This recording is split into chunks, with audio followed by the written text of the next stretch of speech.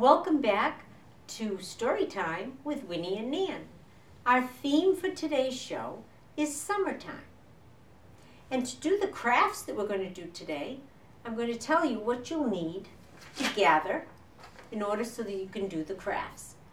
You will need one paper plate, four toilet tissue rolls, one paper towel roll, a coffee filter, the triangle cone type, some cupcake liners, some cookie cutters, whatever shapes you would like, some crayons, some tissue paper, a couple of pipe cleaners, some clear tape and some glue, and some cotton balls. So these are the items that if you can gather those when we do the crafts, you'll be all ready to go. The first book that I'm going to share with you today is called Thunder Cake. This book, Thunder Cake, is by Patricia Polacco. And you'll enjoy, there's a lot of books that Patricia Polacco has written. And she wrote her books about things that happened to her in her real life. So the stories that she wrote are events and things that happened to her in her real life. And this story, Thunder Cake, is a wonderful story about her as a little girl, and she was a little bit afraid of thunderstorms. And you know who else is afraid of thunderstorms? Winny is a little bit afraid of thunderstorms. And Patricia Polacco's grandmother came up with a really fun way to make her not be so afraid of thunderstorms. And this is what this book is all about. So I hope you enjoy this book. Thunder Cake by Patricia Polacco.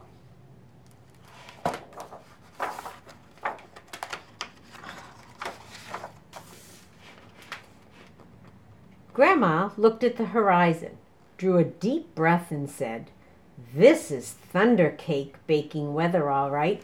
Looks like a storm coming to me. Child, you come out from under that bed. It's only thunder you're hearing, my grandma said.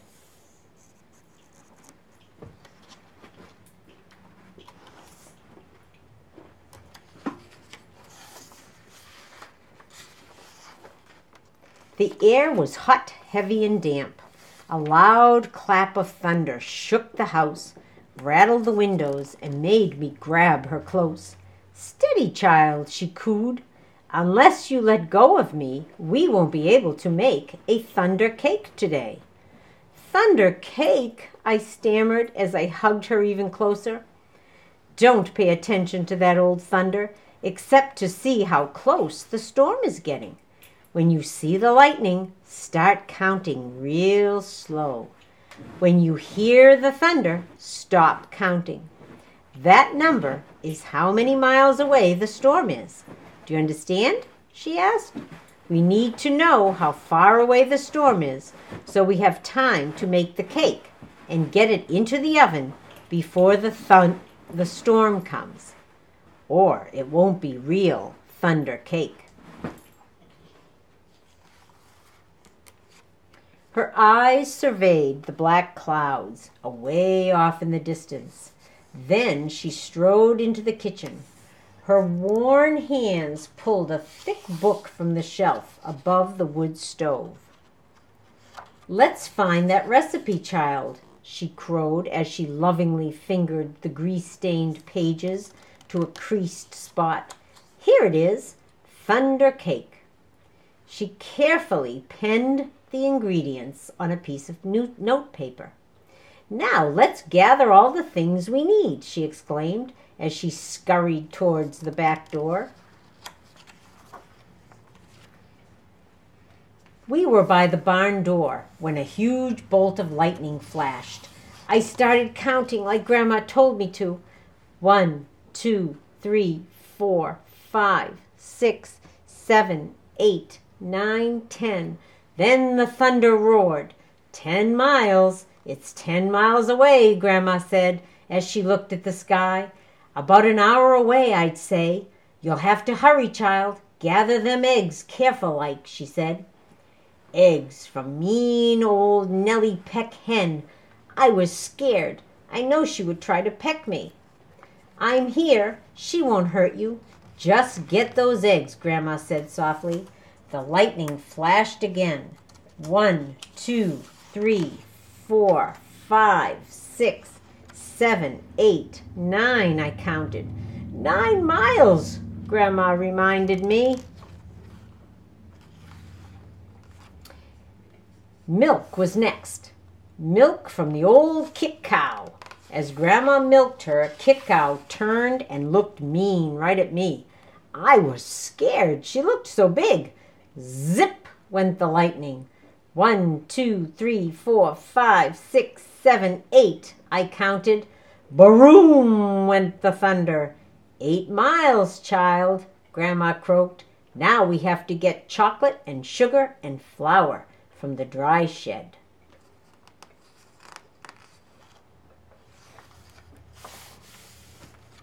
I was scared as we walked down the path from the farmhouse through the tangled weed woods to the dry shed. Suddenly the lightning slit the sky. One, two, three, four, five, six, seven, I counted. Boom, ba boom, crashed the thunder. It scared me a lot, but I kept walking with Grandma. Another jagged edge of lightning flashed as I crept into the dry shed. One, two, three, four, five, six, I counted. Crackle, crackle, boom, kaboom! The thunder bellowed. It was dark and I was scared. I'm here, child, Grandma said softly from the doorway. Hurry now, we haven't much more time. We've got everything but the secret ingredient. Three overripe tomatoes and some strawberries, Grandma whispered as she squinted at the list. I climbed up high on the trellis. The ground looked a way long way down. I was scared. I'm here, child, she said. Her voice was steady and soft. You won't fall. I reached three luscious tomatoes while she picked strawberries. Lightning again. One, two, three, four, five, I counted. Kabang, boom, maroom, the thunder growled.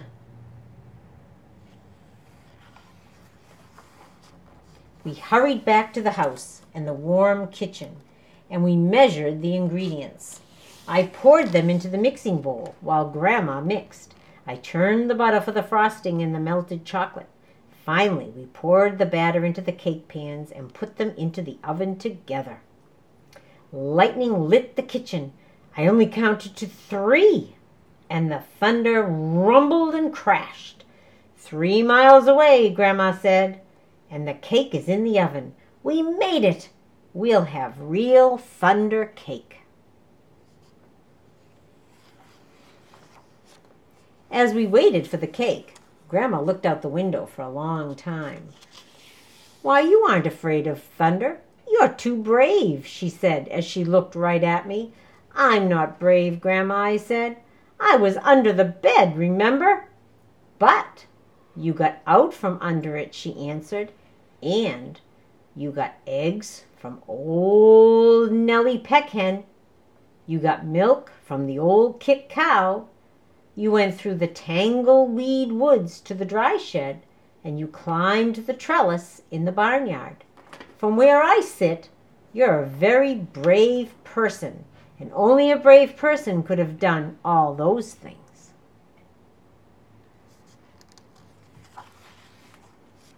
I thought and thought as the storm rumbled closer. She was right. I was brave. Brave people can't be afraid of a sound, my child, she said, as we spread out the tablecloth and set the table. When we were done, we hurried into the kitchen to take the cake out of the oven. After the cake had cooled, we frosted it. Just then, the lightning flashed, and this time it lit the whole sky. Even before the last flash had faded, the thunder rolled, boomed, crashed, and baroomed just above us. The storm was here. Perfect, Grandma cooed. Just perfect.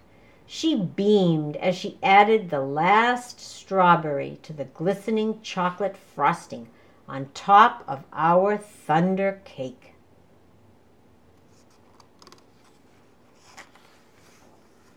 As rain poured down on our roof, Grandma cut a wedge for each of us. She poured us steaming cups of tea from the samovar. When the thunder roared above us so hard it shook the windows and rattled the dishes in the cupboards, we just smiled and ate our thunder cake. And from that time on, I never feared the voice of thunder again.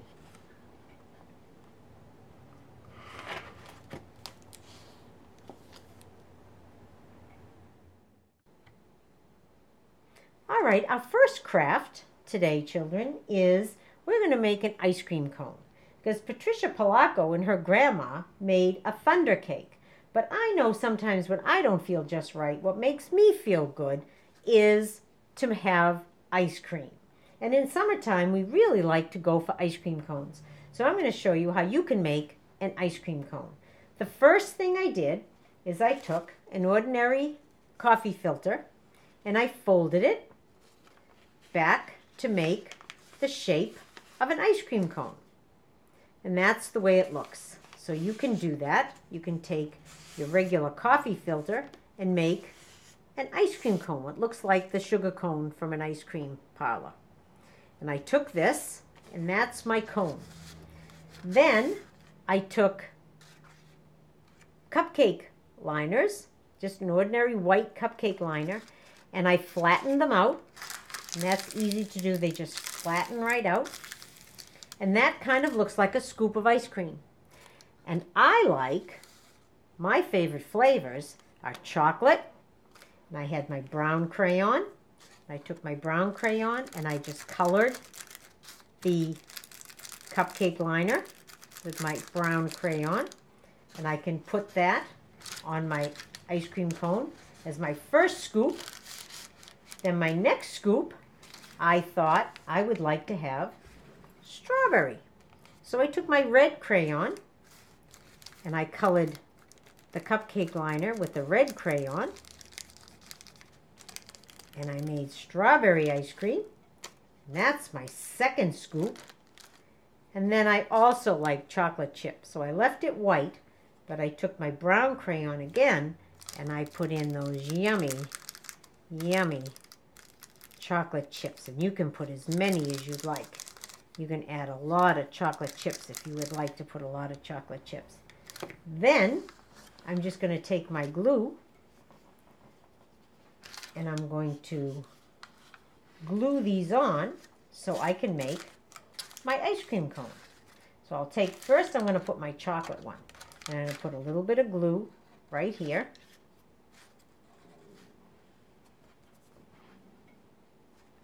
I'm going to put this first ice cream scoop right there.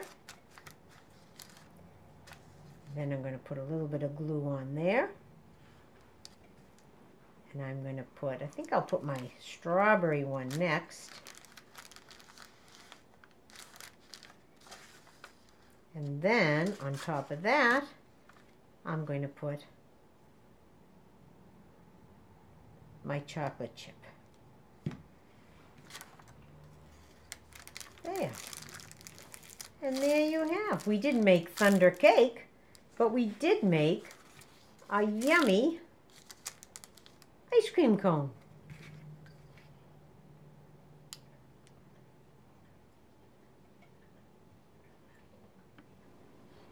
The next books we're going to share, children, are all about clouds. And I don't know about you, but I like to look up into the sky and imagine the shapes that I see in the sky. Because sometimes clouds look like different things that we recognize. And the next two books that we're going to read talk about just that. The first one is Little Cloud by Eric Carle. And the second one is It Looked Like Spilt Milk. And these books talk about the different shapes that clouds can look like in the sky.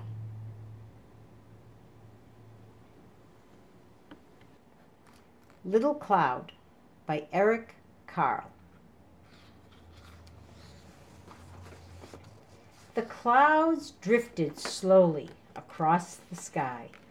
Little Cloud trailed behind. The clouds pushed upward and away. Little Cloud pushed downward and touched the tops of the houses and the trees.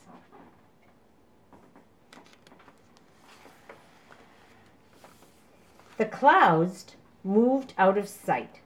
Little Cloud changed into a giant cloud. Little Cloud changed into a sheep.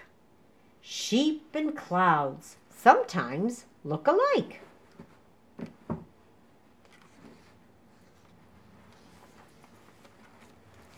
Little Cloud changed into an airplane. Little Cloud often saw airplanes flying through the clouds.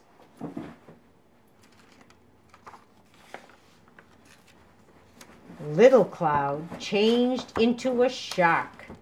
Little Cloud once saw a shark through the waves of the ocean.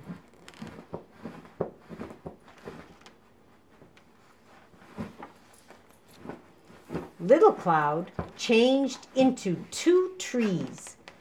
Little Cloud liked the way trees never moved and stayed in one place.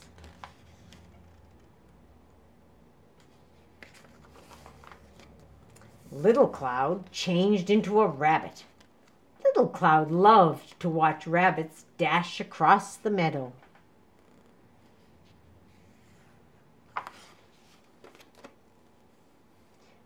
Then Little Cloud changed into a hat because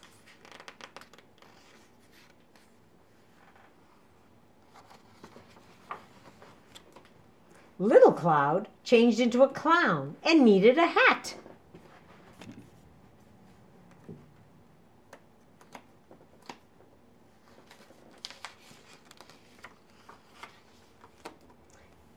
The other clouds drifted back. They huddled close together. Little cloud, little cloud, they called, come back. Little cloud drifted toward the clouds.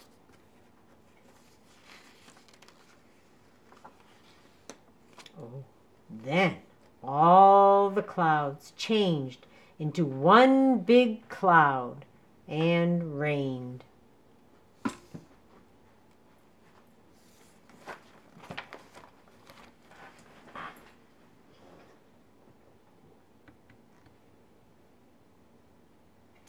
This is the second book that talks about the different shapes that clouds can be. And it's called It Looked Like Spilt Milk by Charles G. Shaw.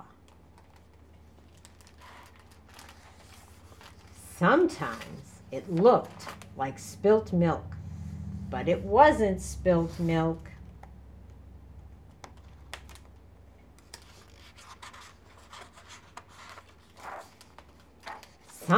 Sometimes it looked like a rabbit, but it wasn't a rabbit.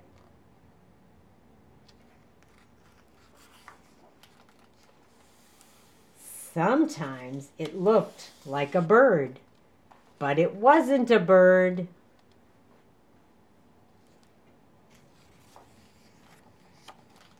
Sometimes it looked like a tree, but it wasn't a tree.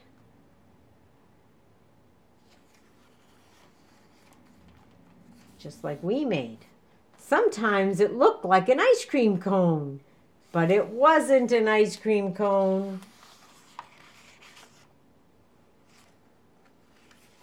Hmm.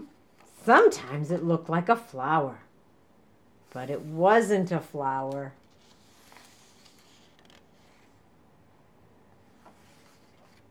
Sometimes it looked like a pig, but it wasn't a pig.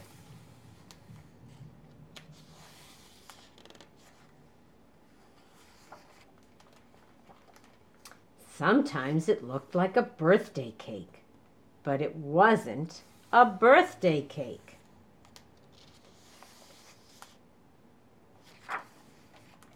Sometimes it looked like a sheep, but it wasn't a sheep.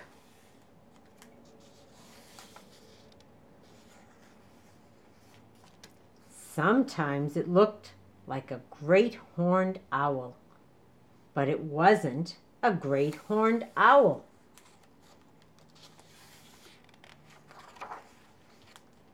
Sometimes it looked like a mitten, but it wasn't a mitten.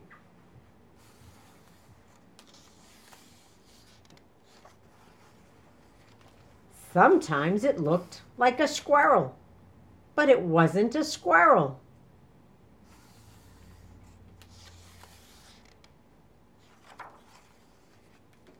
Sometimes it looked like an angel, but it wasn't an angel.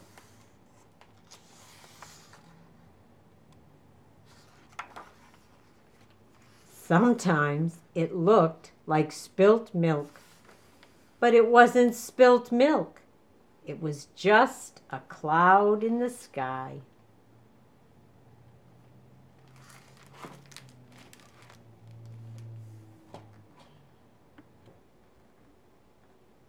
The craft children, that we're going to do to go along with our clouds books is a sky.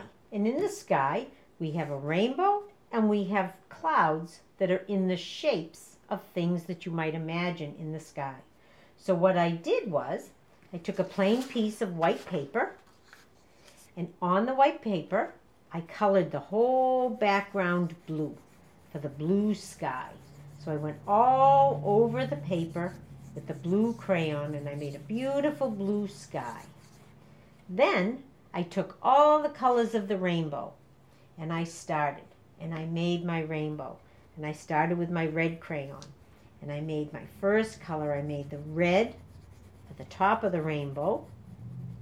Then I took my orange crayon and I made the orange for my rainbow. Then I used my yellow and I made the yellow for my rainbow.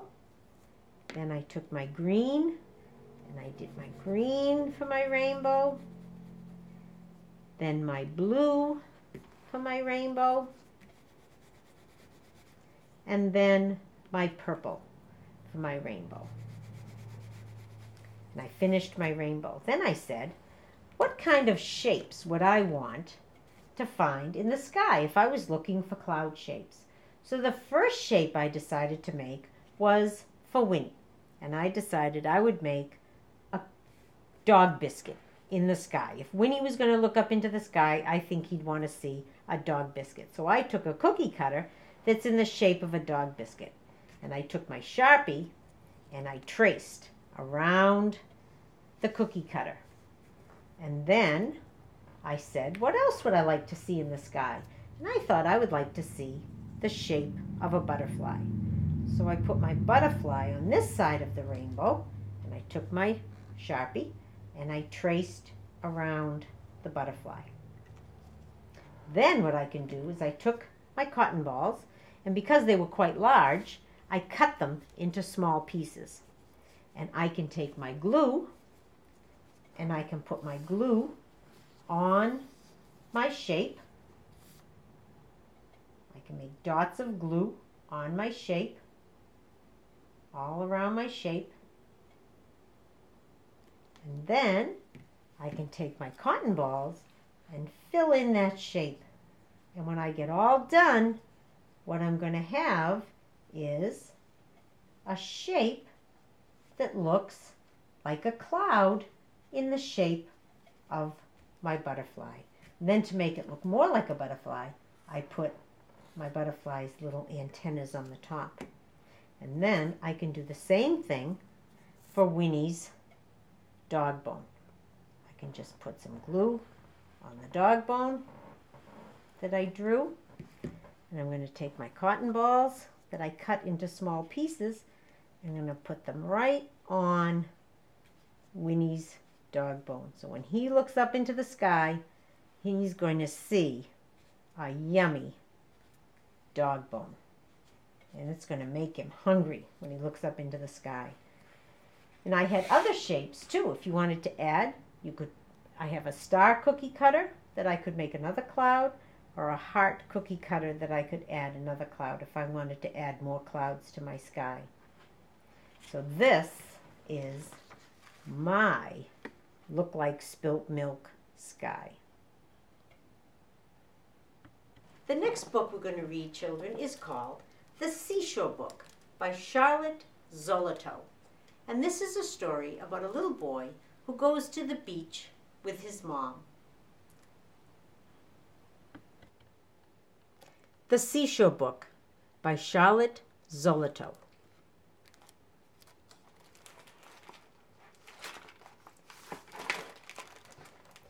What is the seashore like? A little boy asked his mother. He lived in the mountains and had never been to the sea. His mother smiled. Let's pretend, she said. It is early morning at the seashore, and it's hard to tell where the sea stops and the sky begins.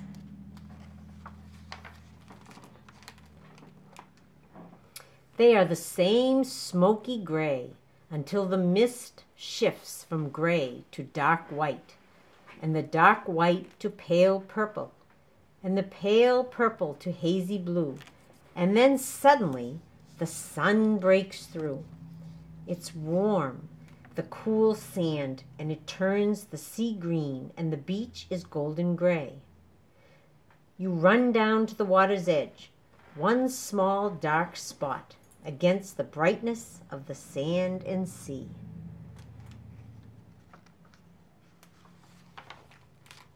You bend over and pick up a stone, washed smooth by the sea. You find tiny brown snail shells and oyster shells crusty gray outside and smooth pearly pink inside. You pick up a clam shell half open, and inside a live clam snaps the shell closed. In my hand? the little boy asks. In your hand, the mother says. Then you reach down again and pick up a wet white gull feather from the gulls flying overhead. We sit at the edge of the water and build a castle of wet sand until the waves wash up and suck it back to the sea. The cold water makes your skin feel like peppermint, and you are tired.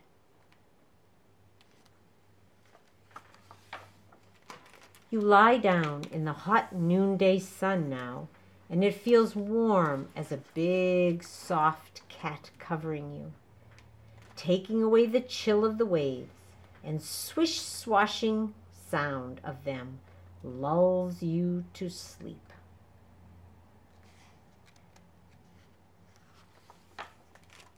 I watch while you sleep, and you don't see two little gray sandpipers run past you.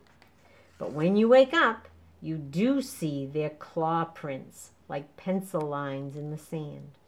You rub your eyes, and it seems there is nothing in the world except the sound of the wind and the rising and falling so- song of the waves.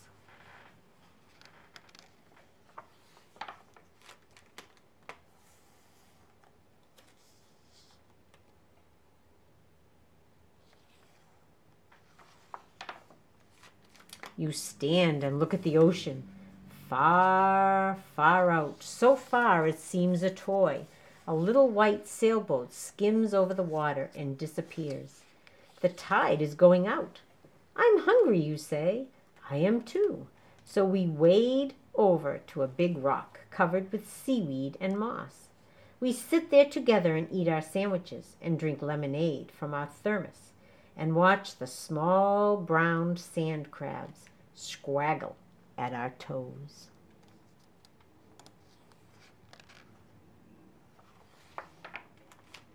An airplane flies low in the sky.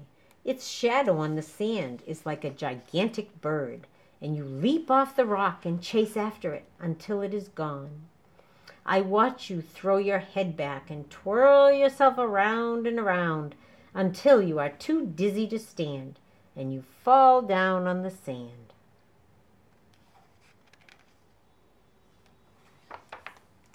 The wind is getting cooler. Long purple streaks of clouds are forming in the sky. We take each other's hands and walk down the beach toward home. The fishing pier we pass is white as a snowfall, with hundreds of crying seagulls waiting for the fishing boats to come in when the sun sets.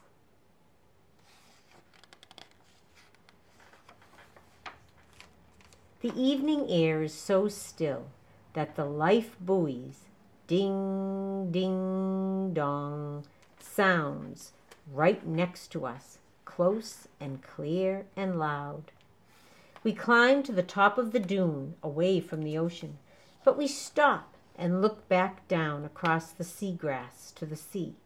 The setting sun is a huge orange ball.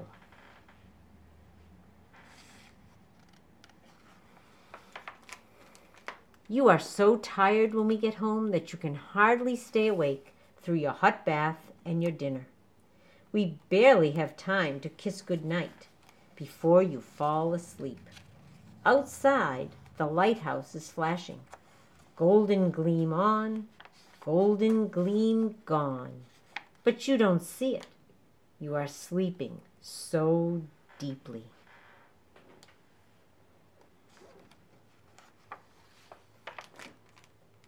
You don't hear the tide rising. You don't see the small crescent moon outside your window. The ocean is bursting in waves along the shore, covering the rock where we sat and ate our lunch, and carrying away seaweed and shells to the sand.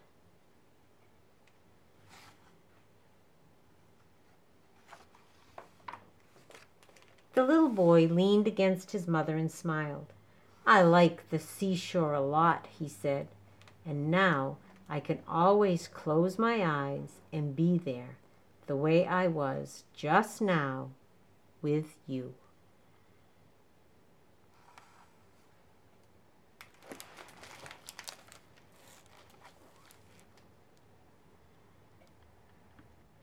In the seashore book, we heard the little boy talk about building a sandcastle. Well, we can't actually build a sandcastle because we're not at the beach. But I'm going to show you how you can build a sandcastle with some things that you'll have around the house. So the first thing I did, this is what it's going to look like when you finish. So the first thing I did is I gathered up some paper towel and toilet tissue rolls and I cut them into four different sizes. As you can see, I have a tall one, a little bit shorter, a little bit shorter, and then a little one. So I cut them into four different sizes. So that was the first thing I did.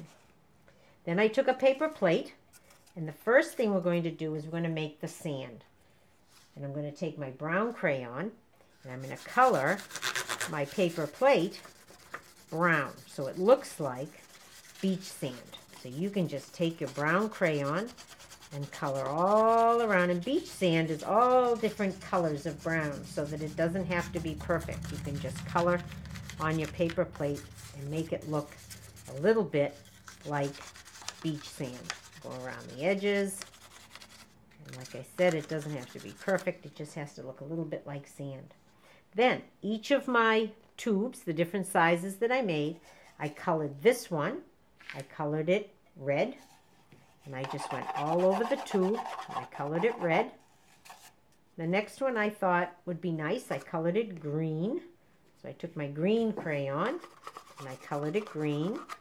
And I did the same thing with, I made purple and I made blue. Then I just took some scotch tape and I can tape them to my paper plate so that they'll stay. And I can just tape it down and I can tape my tall one down. Just put a little tape on that and a little tape on your paper plate and it'll stay. And I can do the same thing with this one.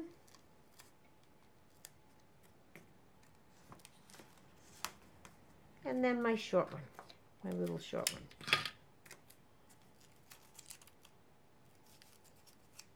Yeah, and I've got a sand castle. There, okay, and it'll stick. There, so there's my sand castle. And I think every castle needs a flag or a pennant, sometimes they call it, on the top of the castle.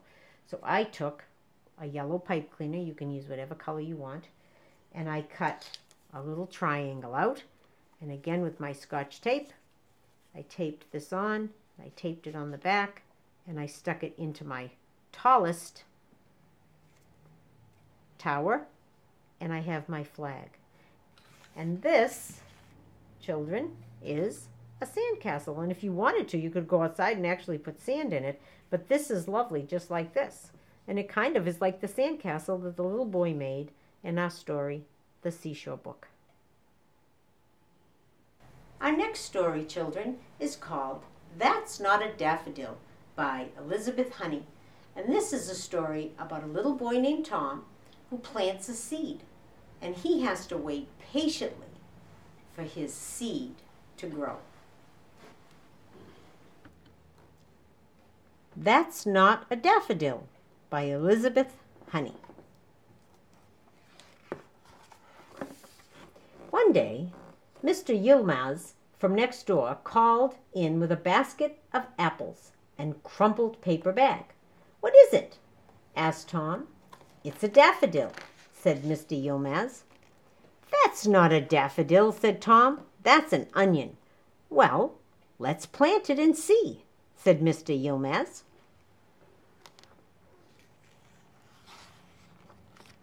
So they planted the bulb with the pointy end up in a large round terracotta pot. There, said Mr. Yilmaz, patting it down, that will grow into a beautiful daffodil. Tom watched the pot, but nothing happened. Nothing, nothing, nothing. The next time Mr. Yilmaz dropped by, he asked, How's the daffodil? That's not a daffodil, said Tom. That's a desert. Then we will make it rain, said Mr. Yilmaz.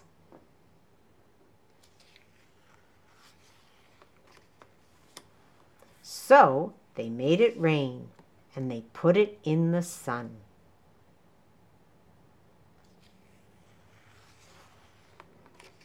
When Mr. Yilmaz brought in a fine bunch of carrots, he asked, How's the daffodil? Don't know, said Tom. Well, let's go have a look, said Mr. Yilmaz.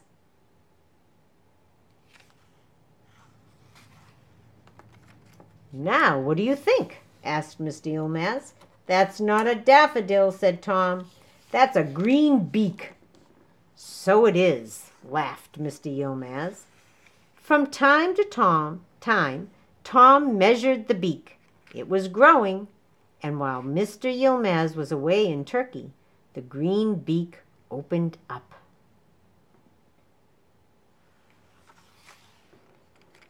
How's the daffodil? asked Mr. Yilmaz when he came home. That's not a daffodil, said Tom. That's a hand with five flat fingers. Green fingers, agreed Mr. Yilmaz.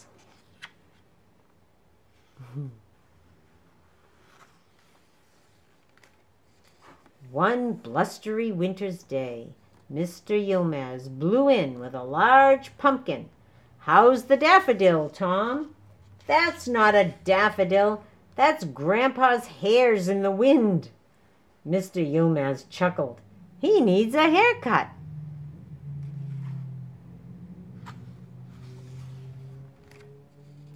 It was pouring with rain when Mr. Mr. Yilmaz brought in a bucket of lemons. Ah, now we can see the bud of the daffodil, said Mr. Yilmaz. That's not a daffodil, said Tom. That's a wet rocket. To the moon, asked Mr. Yilmaz. To the moon, said Tom.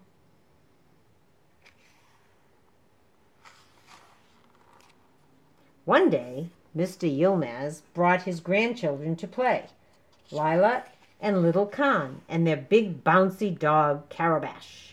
They were trying to catch Carabash when he bounded away and knocked the pot. Uh oh.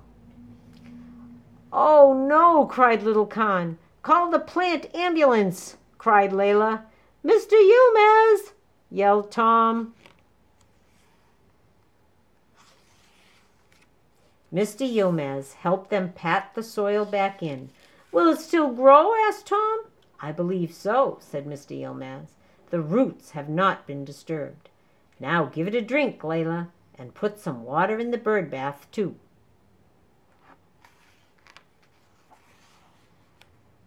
In a couple of days, the daffodil wasn't floppy any more. How's the daffodil after its little bump? asked Mr. Yilmaz.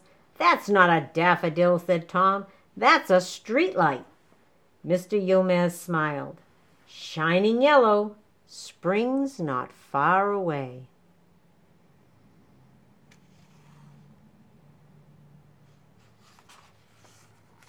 When Tom came home for a weekend at his grandma's, he ran to look in the backyard. Mr. Yilmaz, cried Tom, Mr. Yilmaz, ask the question, ask the question. How is the daffodil? laughed Mr. Yilmaz. Quick, come and look. Oh, said Mr. Yilmaz. Now, is that a daffodil? Tom nodded his head. That is a daffodil. Yes.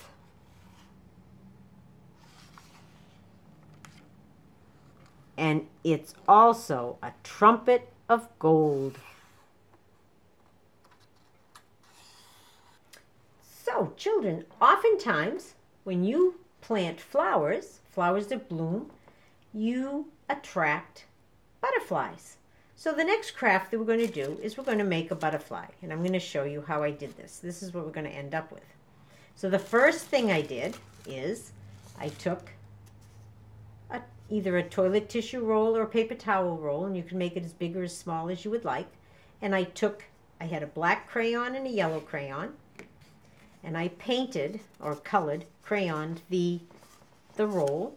I put yellow on the two ends and I went all the way around with my yellow crayon. In the middle, I did with my black crayon and I went all the way around with my black crayon. And then I like to have a happy little butterfly, so I gave him his two eyes and then with my red crayon, I gave him a happy face. So I had, I turned this into this. Then what I did is I took a black pipe cleaner and I cut it to whatever length I wanted it to be. I cut it to about this size and I stuck it in and I taped it and those are my little butterfly's antenna. Then I took a piece of tissue paper and I cut it into a square and I gathered it in the middle like this and I put some tape on the back and I just put it on the back of my tissue roll and taped it on and very simply I end up with a butterfly.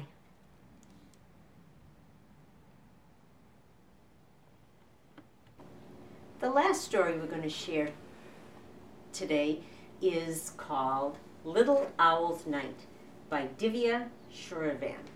And this is a story about a little owl and a question he asks his mom. He's curious because owls are awake at night and they sleep during the day. And he's curious about what happens after he goes to sleep and daytime begins. So, Little Owl's Night. Little Owl was having a wonderful night. He watched the funny possum family waddle along in a neat row.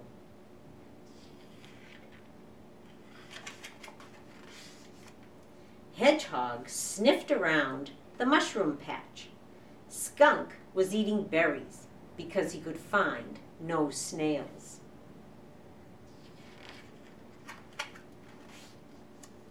By the river, beavers gnawed at trees.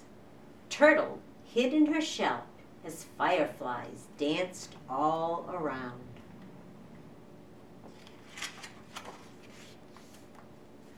Little Owl visited his friend the raccoon. As they sat in the clover, fog rolled in and hovered just overhead.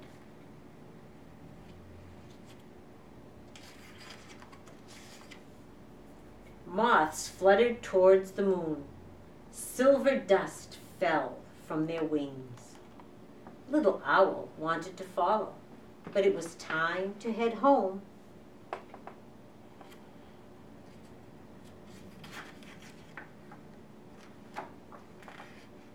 On the way, Little Owl flew by Grumbly Cave.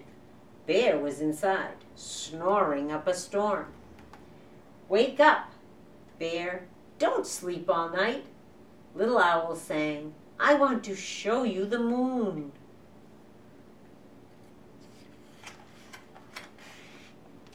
But the bear kept snoring as usual. Little Owl flew home to his tree, gazing at the sky.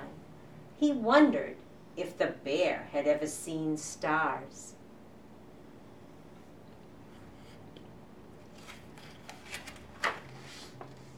Little Owl sat on his branch. How he loved the night forest.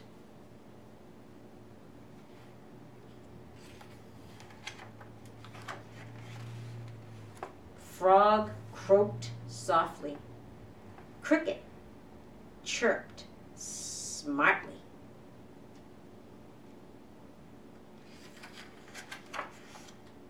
Little Owl heard rustling at the foot of his tree.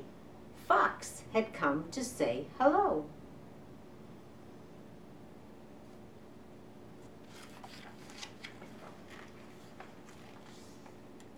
It was late now. The bats were gliding home. Mamma, Little Owl whispered, tell me again how night ends.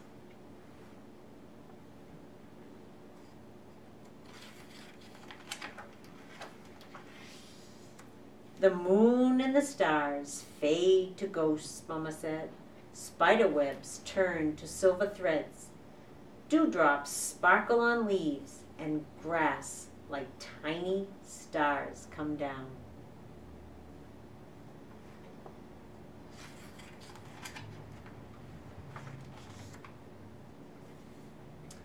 Moonflowers close, and morning glories open.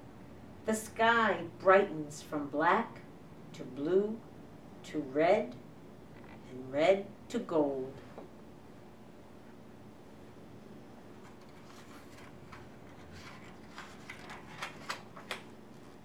The rooster crows, the crows caw, and day begins, said Mamma. But Little Owl did not hear.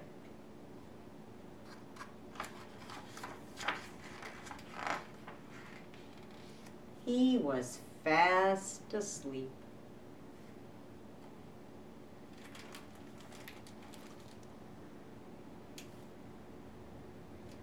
Well, I think that was a very good bedtime story, boys and girls, because look who else is asleep. Not just Little Owl. I think our story put Winny to sleep. So it was nice sharing this time with you, boys and girls, and I want to remind you to look for my show on RCTV. It's Story Time with Winny and Nan. And you can also find us on YouTube. If you search for Story Time with Winny and Nan, you can find us and watch us anytime at all. And again, if you have a chance, you can send me an email if there's a story you'd like us to read. You just go to winnieandnan at gmail.com. So till I see you next time, bye bye.